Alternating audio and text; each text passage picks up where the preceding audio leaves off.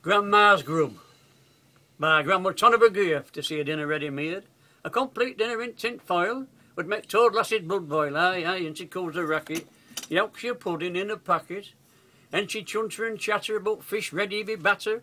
But to see, see a chicken oven ready, wow, we'd have to hold us less steady. And she think it no but lonely bin. Tripe onions in a bloody tin. And for me it's a shame, but grub just don't take same.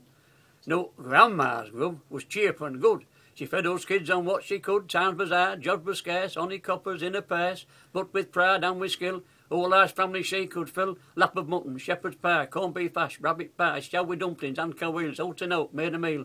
Homemade pickles, homemade brawn, pig's trotters, marrow bone, chitlins and sheep's reeds, bacon bones and mushy peas. Belly pork and mashed bud, a steaming steak and kidney pud. Sunday treat when she could was roast beef and Yorkshire pud. And if we were good for us kids, it'd be jelly and custard for us tea. She'd make a sweet on what she could, spotted dick or ginger pud. Fruit pie she'd make it season, apple, bramble, rhubarb, raisin. Fish was good and fish was cheap.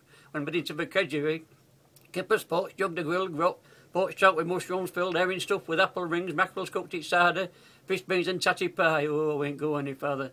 Don't keep all your fancy foods, whatever they may be. Give me grand's old-fashioned grub. That'll do for the me.